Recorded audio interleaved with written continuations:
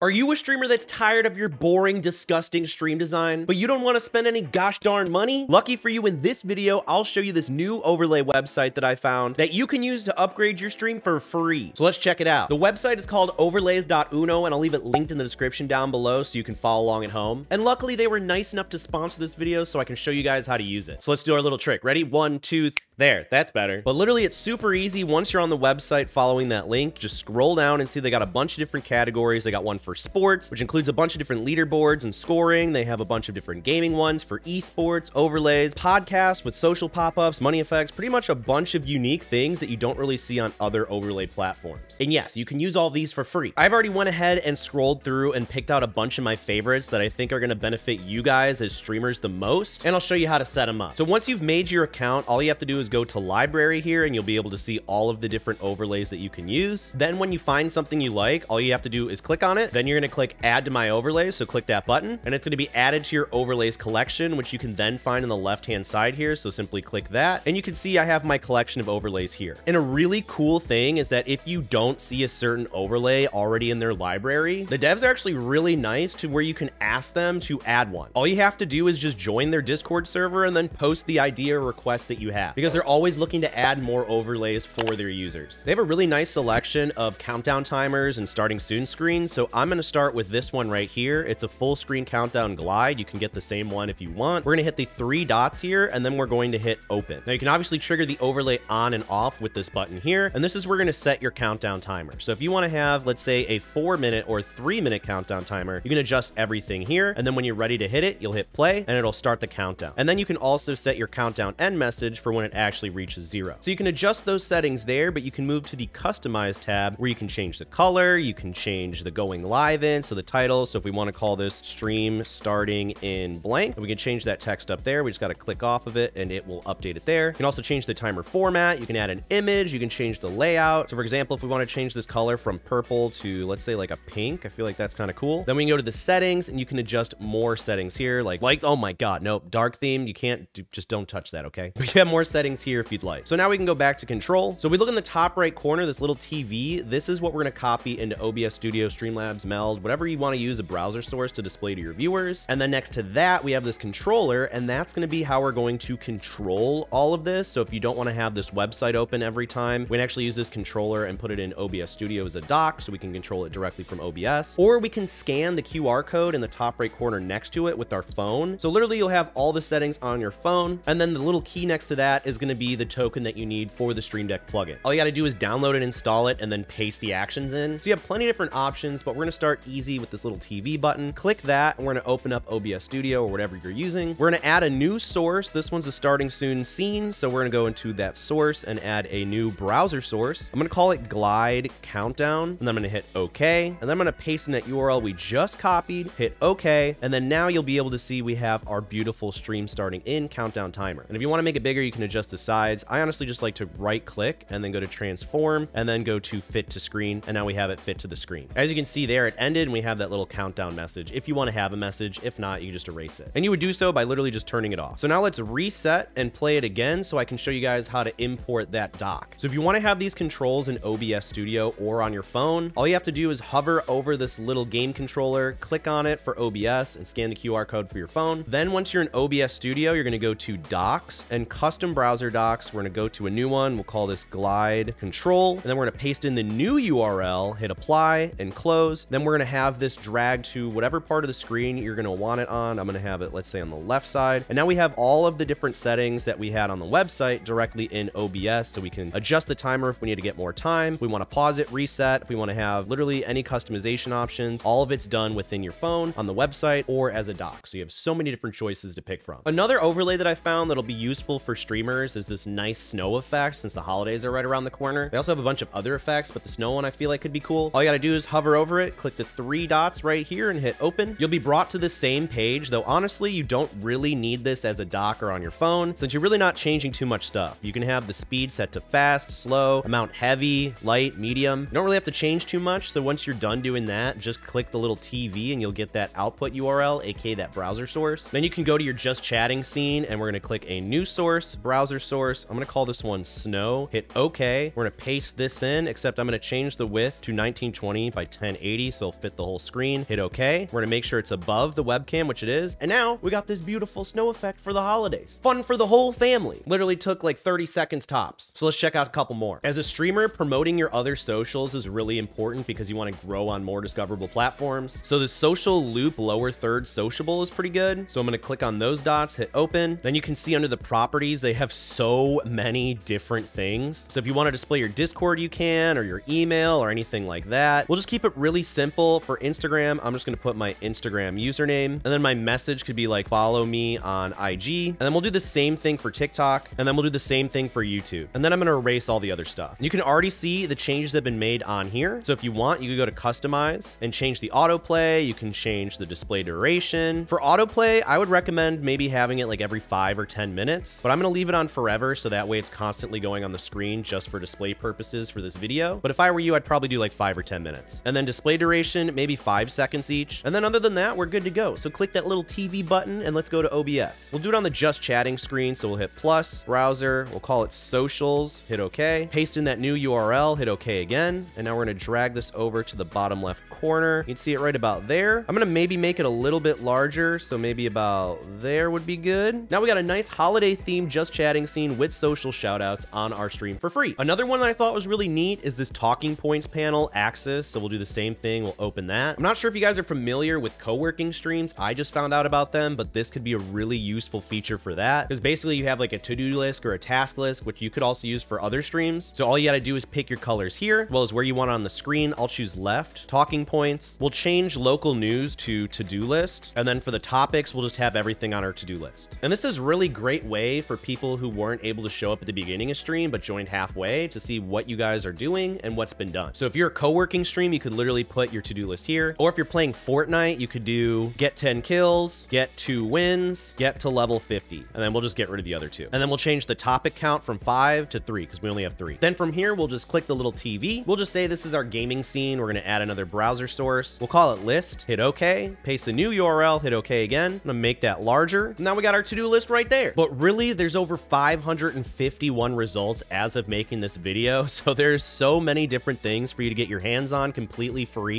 And like I said, if they don't have it, then just join their Discord and put in a request. Now, while the overlays are free, they have to pay their developers somehow, which is where they have their optional upgrade where for $3 a month, literally the price of a chicken sandwich or less, you can upgrade to get benefits such as more image storage, ad-free experience, and be able to edit certain presets. But once again, this is completely optional. The overlays are indeed free. So if you want to check out overlays.uno, the link is at the top of the description below. And if you want to keep making your stream look extra professional, then you should watch this video to the side of me. I'm going to show you exactly how to do that in that video. My name's Cody, and I will see you in the next one.